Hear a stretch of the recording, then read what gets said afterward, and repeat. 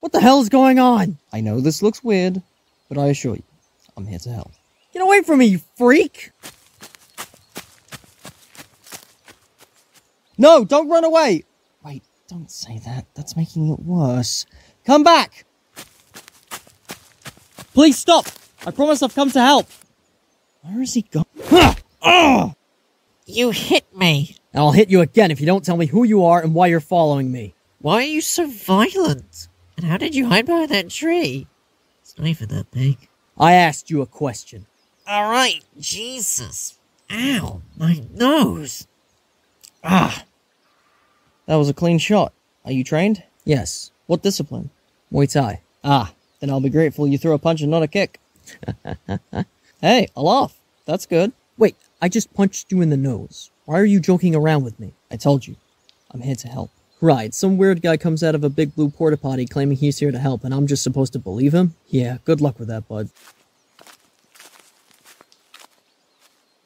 Wait! Stop following me! I'm afraid I can't leave you alone. Why? Because you like following people in the woods? No, because I know what you're here to do. You don't know me. You have no idea why I'm here. Of course I do. This is Aokigahara Forest, otherwise known as Suicide Forest.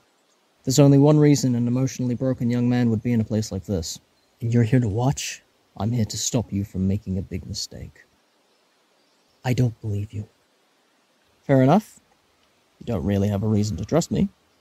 But right now, I'm the only person who's willing to help you. So it won't hurt to at least hear me out. Fine. Fantastic. Actually, let's go back to the TARDIS first. It's creepy out here. While we're on our way back to the TARDIS, might as well fill in the dead air. I'm the Doctor. Doctor what? That's it. What do you mean, that's it? That's it. My name is the Doctor. No last name? Just one word? Like Madonna? Something like that. Yeah. Are you even certified in anything? Um, no. That's a little egotistical to call yourself doctor without earning a degree, don't you think? I. I thought it sounded distinguished.